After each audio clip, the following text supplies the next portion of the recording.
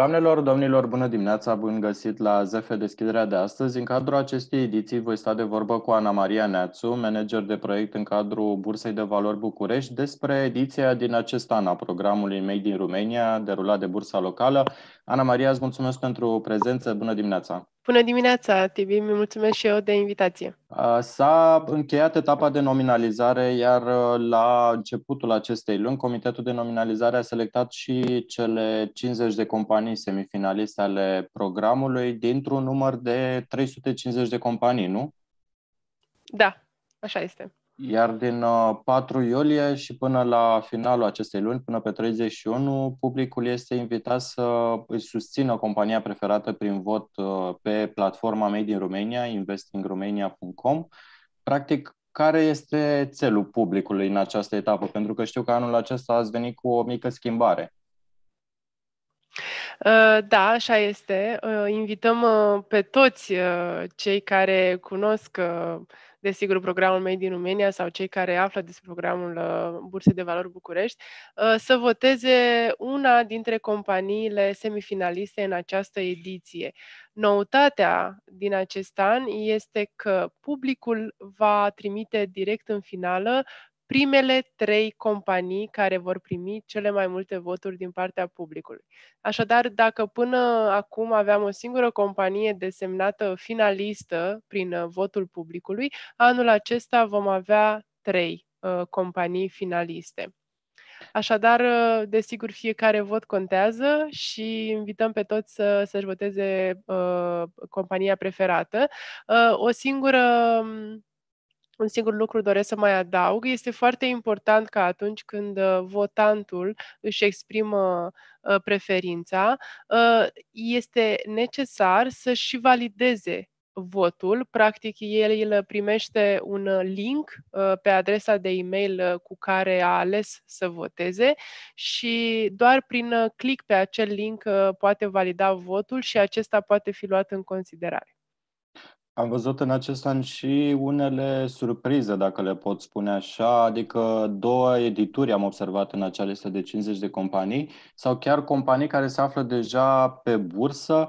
Hai să vedem care sunt uh, aceste 50 de companii, din ce sectoare de activitate și din ce orașe provin.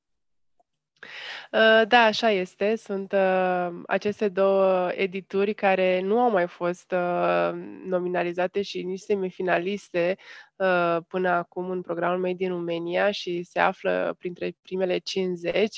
Uh, Desigur, uh, cea mai mare pondere din totalul companiilor uh, semifinaliste o dețin companiile din ITNC, cu 30% din, din totalul companiilor semifinaliste, urmate uh, de companiile din comerț cu 18%, iar uh, pe locul 3 uh, companiile din industria alimentară reprezentând 14% din totalul celor 50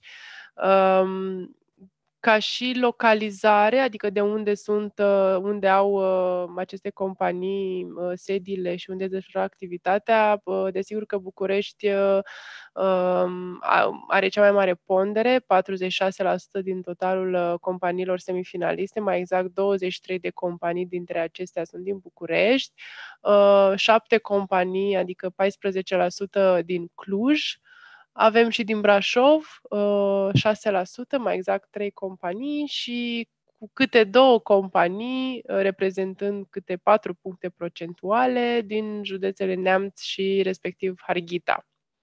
Bun, deci IT-ul rămâne în, uh, pe primul loc ca pondere și Bucureștiul la fel. Dacă da. ne referim la dimensiune, ce fel de companii au ajuns în semifinală? Care ar fi uh, dimensiunea lor? Și știu că ai și statistici legate de numărul de angajați. Uh, da, așa este. Uh, aș putea specifica, specifica faptul că s-a păstrat ponderea din totalul nominalizărilor. Este foarte interesant că în această etapă de semifinală, 88% dintre uh, companiile semifinaliste, mai exact 44 de companii, sunt IMM-uri. Um, același procent uh, a fost înregistrat și din totalul nominalizărilor. Practic au fost 88% uh, IMM-uri. Uh, apoi, cu câte 6% la egalitate, startup și, și corporate. Mai exact, trei companii din, din fiecare segmentare. Desigur că ne așteptăm ca și în cazul finalistelor să se păstreze cumva această proporție, pentru că, iată, anul acesta chiar avem o proporție mare din această categorie IMM-uri. Da, îți spuneai mai devreme de numărul de angajați. Aș avea aici o curiozitate pe care să vă, să vă transmit compania care are cea mai mare cifră de afaceri uh, obținută în, uh, în anul 2021 și uh, se află printre semifinaliste, um, este de aproape 800 de milioane de lei și are aproape 1700 de angajați. E o companie relativ medie ca vârstă, să spun așa, are o vechime de 28 de ani de la înființare și are uh, sediul în județul Alba. Este o companie din, uh, din industria alimentară.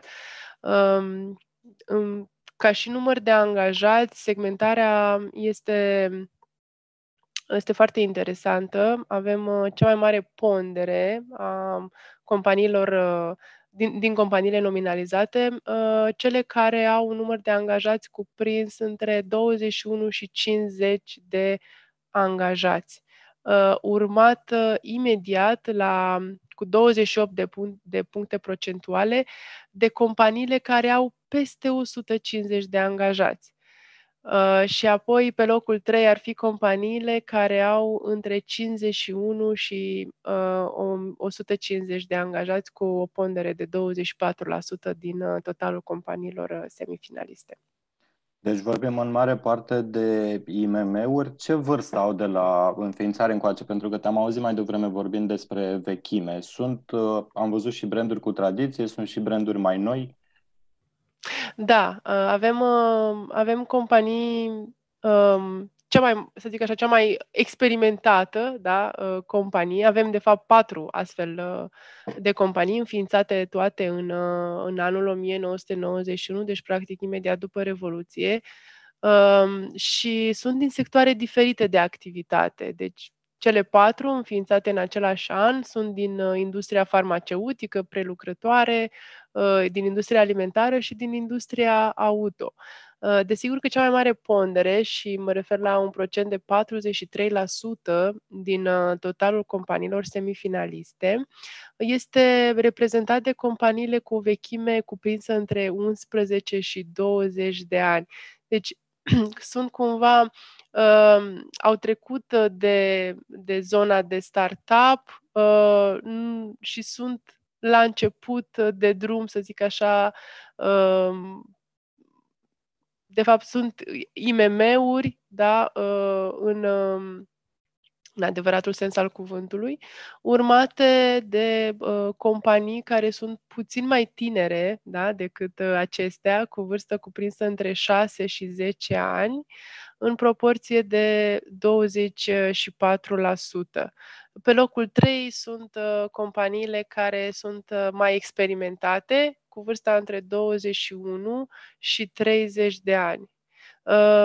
Uh, cea mai mică pondere uh, este reprezentată de companiile foarte, foarte tinere, uh, de 6%, uh, cu proporția de, cu vârsta între 0 și 3 ani.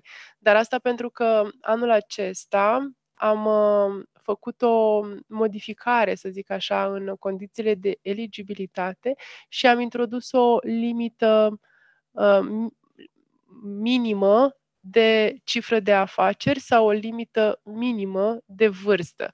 Uh, și spun sau pentru că dacă una dintre acestea este îndeplinită, compania desigur este eligibilă pentru nominalizare.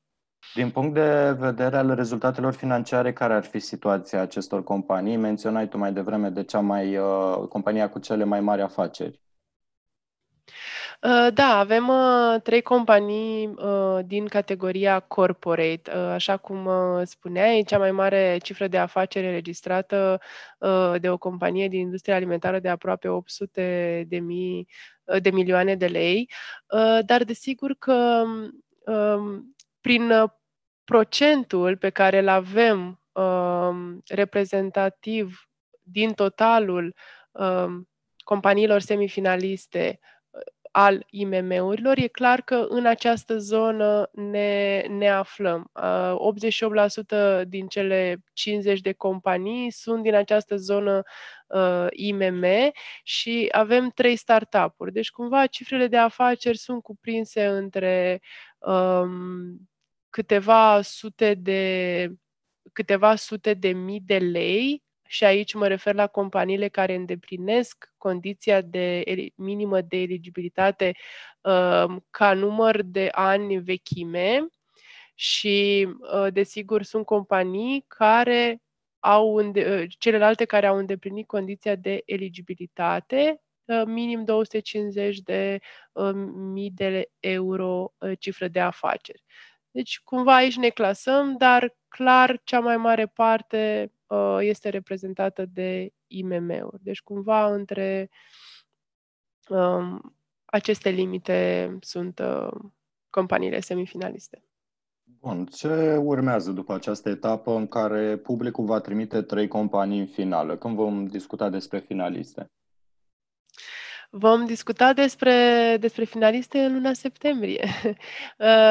Publicul va vota până pe 31 iulie, iar 2 uh, august este ziua când membrii juriului se întâlnesc și aleg uh, celelalte 12 companii uh, finaliste. Uh, practic publicul alege pe primele trei și uh, juriul următoarele 12. Acestea vor fi uh, anunțate public și premiate în cadrul galei Made in Romania, pe care o avem programată în luna septembrie. Vom reveni cu cu detalii. Uh, și ulterior, în toamnă, uh, vom avea programul de mentorat pe care, desigur, îl organizăm împreună cu partenerii noștri și uh, intenționăm să, să mergem uh, în cele patru regiuni uh, unde am mai fost, în programul Made din Romania, Uh, și să mergem mai, uh, mai aproape de antreprenorii pe care noi îi avem în această comunitate pe care o construim încă din 2017. Bine, Ana Maria, îți mulțumesc mult pentru discuție. Ne auzim în uh, august-septembrie să discutăm despre următoarea etapă a programului. Cu drag, abia aștept și eu să, vă, să vin cu noutăți. Mulțumim, doamnelor, domnilor, încheie aici ZF deschiderea de astăzi. Alături de mine a fost Ana Maria Neațu, manager de proiect în cadrul Bursei de Valori București. Vă mulțumim pentru atenție, să aveți o săptămână liniștită și profitabilă.